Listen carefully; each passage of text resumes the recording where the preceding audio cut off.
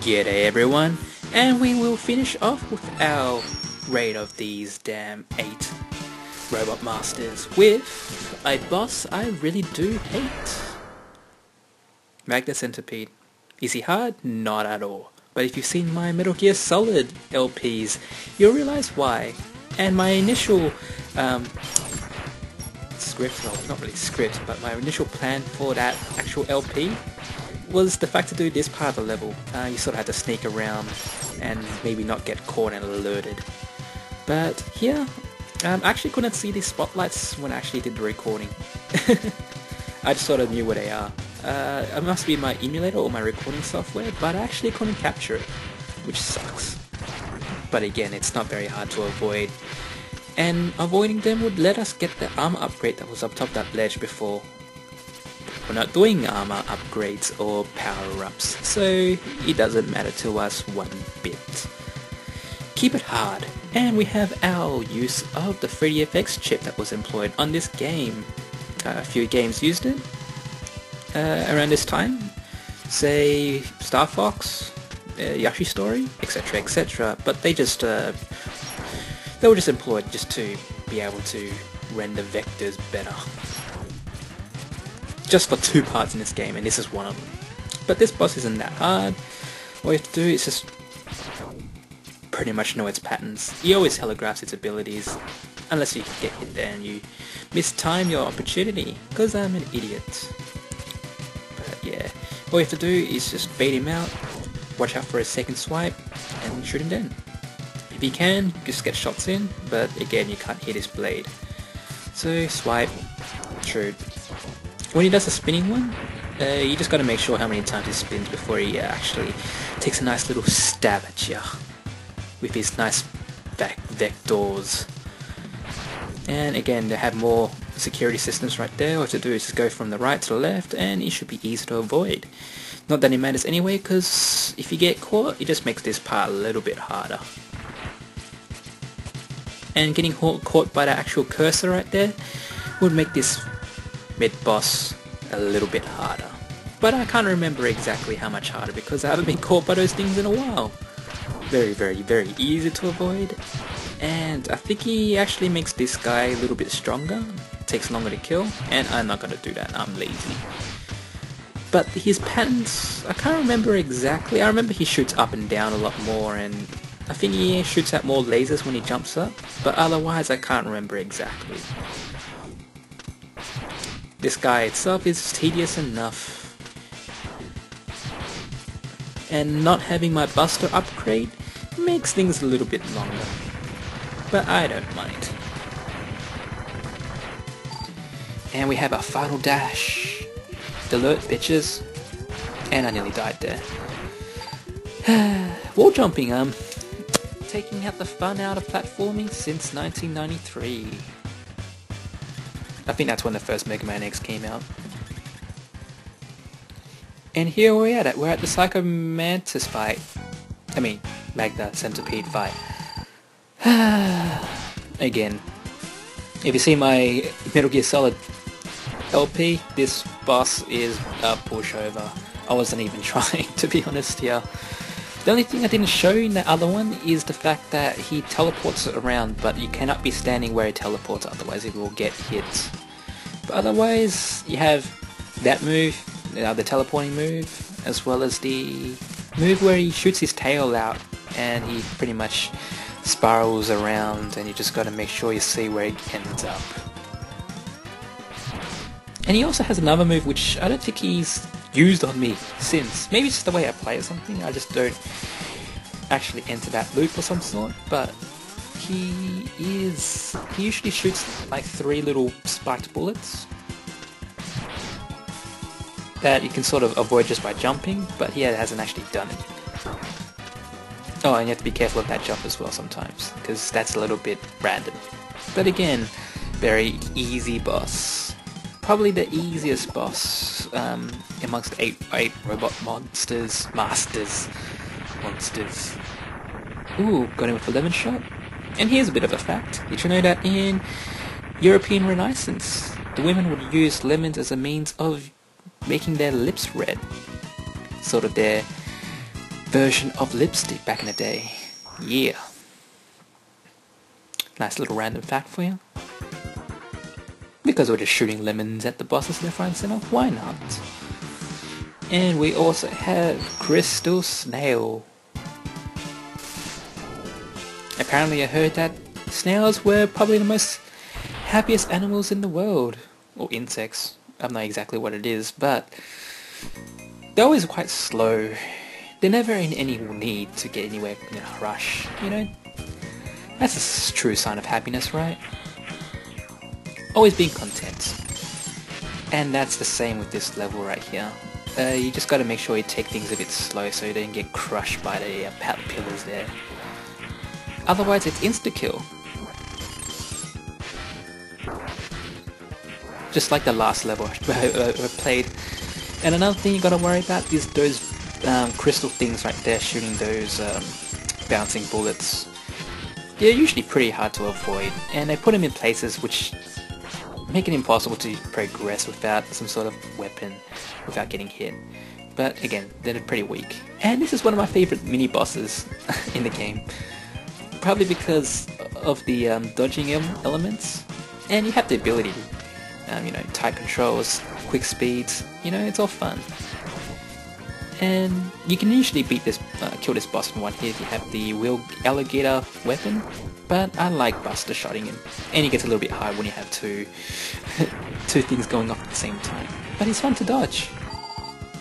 I've always wanted a Mega Man X game where you sort of, you know, have to avoid an onslaught of crazy uh, bullets and enemies here and there. But we won't see that until X6. The one that everyone hates so much, but I like. I think just everyone just hates it because it ruins the storyline. And it's a bit silly here and there. But in terms of gameplay, it's not that bad. It's the hardest one. But I am digressing from the point of Mega Man X2. I nearly said that, didn't I? so here we have it. We are at Crystal Snail.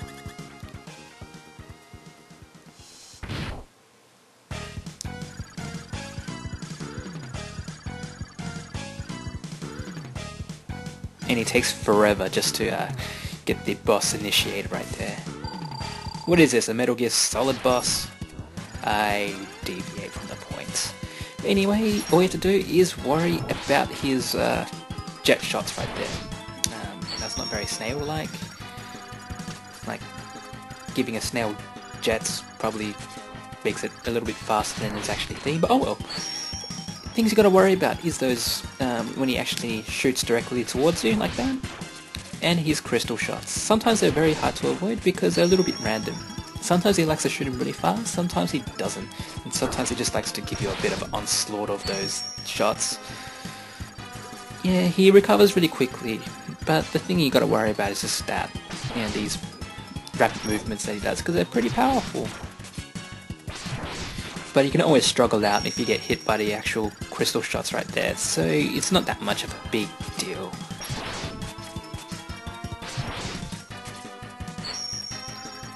So it doesn't really matter if you get hit because obviously it doesn't really do that much.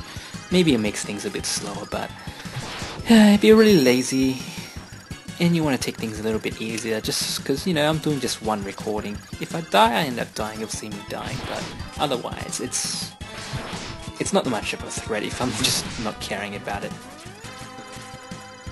But when we get to the last uh, three levels, the X-Hunters, you'll see me struggling. Especially during the last bosses. But here we also have his final attack, which makes everything else slow.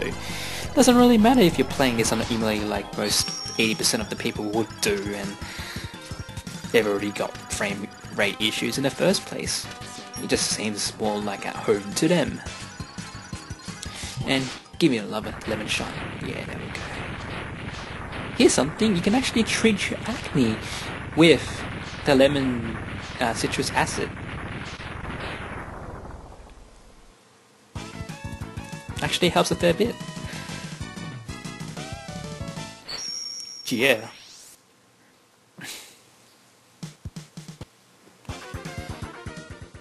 What's our next boss? Uh,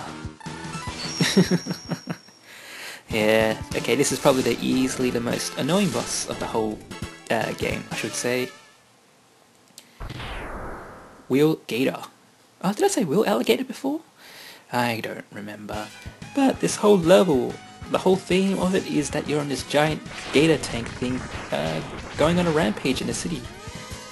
And if you really suck and you keep on dying, the, um, I don't know, maybe the actual tank goes back and, you know, goes through town and kills you know, just to give Mega Man a bit of a head start. But if you actually destroy the boss, uh, he ends up stopping. Um, the actual tank obviously stops. Um, which doesn't really change that much, really. The uh, buildings in the background just stop moving. So it's not that much of a change. It's just an aesthetic thing. I actually remember that um, another one of these bosses in Mega Man X2 as well. If you actually beat the boss, it changes things. I think it might be Flame Stag, where the actual lava stops, um, well, hardens up and you can sort of jump on it and make that level even easier. But uh, again, I um, don't really remember. This game sort of prevents backtracking. There's not that much backtracking involved in this game if you know what level to take each time. But again, this level isn't too bad. It's got some bottomless pits and spiked walls, but really, it's, pretty, it's just pretty much straightforward. It's not as cool as say Storm Eagle stage in Mega Man X1, but I'm deviating from the point right now of Mega Man X2. Which people say is the, probably the weaker entry in the game, in the series maybe. Again, people say it might be an actual X6, but again, I like the art and the music in that game. The music in this sounds really cheesy. Some people might like it, but... Oh, one of these guys. I love these guys. these guys are fun to actually shoot and jump and get your rhythm right. Not that it matters for the next boss fight anyway, because I'm probably going to take this very lackluster-ish. if you actually use the weakness against this boss, it'll take longer than if you just do what I'm doing right now, playing it properly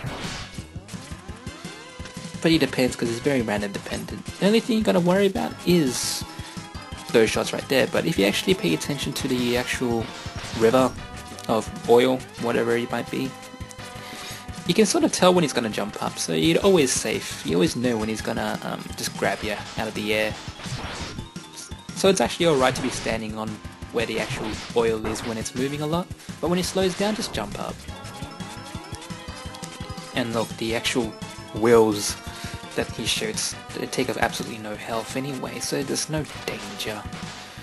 I don't know how people play this with using the actual armor upgrade because uh, halving the actual damage really makes this way too easy. You can't die. Except for maybe one of the two or two of the X-Hunters later on. Where things get a little bit hardcore and bananas. Again, just avoid the uh, wheels. Gators don't have wheels. But it's one of the cooler bosses in this game. Oh, or in just saying maybe the next two games, X2 and X3. Alligators are pretty cool. Alligators? And that's right, alligators. Unless they have a crocodile one, which is actually bigger. Crocodiles are bigger than alligators, right? Yes, they are. I don't know, I'm Australian. We don't have alligators here, we have crocodiles. Two totally different animals, apparently. And what you've gotta think is you've gotta worry about those um, his spinning move right there, which attacks the wall and you can't jump on it. And there's another shot of vitamin C right there for you. Hmm, that's another fact that I know about lemons. Um, Oh yes, right, the uh, citric acid in lemons actually helps your digestive system, so if you want to lose weight, eat some more lemons. Otherwise, that's another video.